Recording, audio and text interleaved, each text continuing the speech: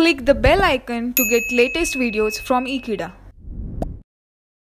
Hello friends, in the previous topic we have discussed about the dual nature of light and now in this topic we are going to talk about the dual nature of electrons.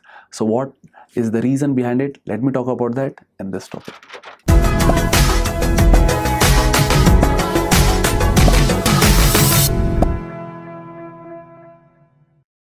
So friends, in this topic, let me discuss about the dual nature of electrons.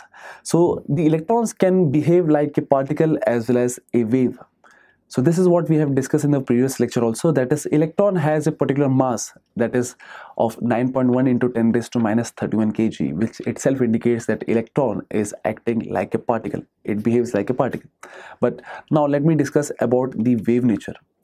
The wave nature it indicates that the electron can show the phenomenon like diffraction which is proved by the de Broglie's equation. So this wave nature can be explained by the de Broglie equation that is lambda is equals to h divided by mv. So here basically the lambda is nothing but the wavelength this h is Planck's constant this m is the mass of the electron this v is the velocity so this electrons characteristic to behave like a wave can be explained with the help of the de Broglie equation as well as we also know that is the particle nature of the electron. So this indicates that electron can behave like a particle as well as a wave.